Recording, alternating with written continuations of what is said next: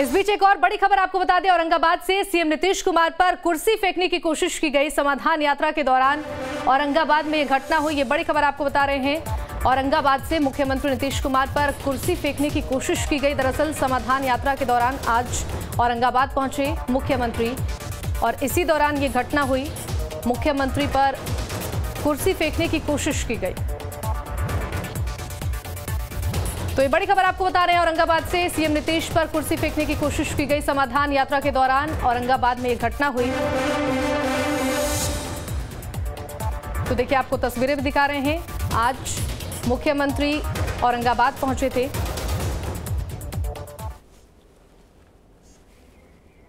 तो देखिए, आपको तस्वीरें भी दिखा रहे हैं। आप देख सकते हैं इन तस्वीरों में किस तरीके से कोशिश की गई मुख्यमंत्री पर कुर्सी फेंकने की। और इसी खबर पर ज़्यादा जानकारी देंगे संवाददाता रजनीश हमारे साथ फ़ोन लाइन पर जुड़ गए हैं। रजनीश देखिए आज औरंगाबाद मुख्यमंत्री की समाधान यात्रा पहुँची थी जानकारी मिल रही है। मुख्यमंत्री पर कुर्सी फेंकने की कोशिश की गई। बिल्कुल देखिए छुट्टी हुई कुर्सी मुख्यमंत्री के सामने फेंकी गई। बाल बाल बचे हैं मुख्यमंत्री समाधान समाधान यात्रा में आज रोहतास के बाद औरंगाबाद पहुँचे तो मुख्यमंत्री और दौरान ये घटना घटी है। फ़िलहाल पुलिस जाँच कर रही है कौन ये लोग थे किस कारण से इन्होंने इस तरह का इस तरह की हरकत की है लेकिन ये बहुत ही प्रशासनिक चूक है जिस तरीके से मुख्यमंत्री के ऊपर और मुख्यमंत्री बाल बाल बचे हैं। बिल्कुल उनके सामने कुर्सी गिरी है, जो विजुअल हम लोग दिखा रहे हैं बिल्कुल साफ़ है। कि किस तरीके से मुख्यमंत्री के सामने कुर्सी उछाल दी गई है और फ़िलहाल उन लोगों की शिनाख्त की जा रही है, जो लोग, जिन लोगों ने ये काम किया है और उन लोगों की गिरफ्तारी भी सुनिश्चित की जाएगी। पूरी तरह से ब्रीच ऑफ़ सिक्योरिटी का मामला है और मुख्यमंत्री पर एक तरीके से हमला किया गया है। लेकिन शुक्र यह है कि मुख्यमंत्री को चोट नहीं है और मुख्यमंत्री बाल इस हमले बचे हैं। जी।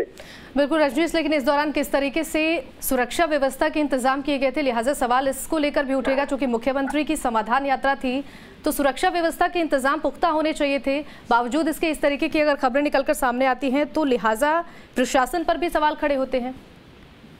बिल्कुल देखिए प्रशासनिक व्यवस्था पर सवाल तो बिल्कुल खड़े होते हैं क्योंकि मुख्यमंत्री की अगर समाधान यात्रा हो रही है तो बिल्कुल फुल प्रूफ पहले से ये सिक्योरिटी अरेंजमेंट किए जाते हैं। होता है एक एसओपी होता है जिसके तहत से पूरे इंतज़ाम किए जाते हैं लेकिन कैसे क्योंकि चूँकि देखिए मुख्यमंत्री जहाँ भी जा रहे हैं सभा करने वहाँ पर कुर्सियाँ लगाई जा रही है लोगों के बैठने के लिए। अब उसमें से यकायक किसी ने उठा के कुर्सी फेंक दी है तो उसकी मंशा क्या थी? जो मुख्यमंत्री के उसने कुर्सी फेंकी क्या कारण था?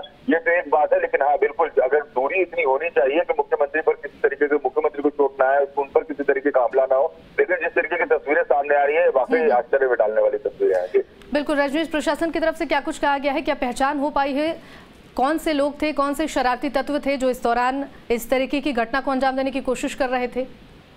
जी नहीं, देखिए, पुलिस अभी इन लोगों की शिनाख्त करने की कोशिश कर रही है। अभी तक ये जानकारी नहीं मिल पाई है कि इनकी मंशा क्या थी, क्यों इन्होंने अपना आक्रोश व्यक्त किया और ये आक्रोश व्यक्त करने का कौन सा तरीका था, क्या क्या कोई असामाजिक तत्व थे जो इस पूरी भीड़ में घुस गए थे और मुख्यमंत्री का इस तरीके से विरोध करना चाह रहे थे? पुलिस इसकी जाँच कर रही है, जैसे जाँच की बातें सामने आएगी, उसके बाद हम दर्शकों को बता पाएँगे कि आखिर वो कौन लोग थे जिन्होंने इस तरीके की हरकत की है। जी। ठीक है रजनीश शुक्रिया आपका इन तमाम जानकारियों के लिए। तो देखिए एक्सक्लूसिव तस्वीरें आपको दिखा रहे हैं, औरंगाबाद आज मुख्यमंत्री की समाधान यात्रा पहुँची थी और इस दौरान नीतीश कुमार पर कुर्सी फेंकने की कोशिश की गई।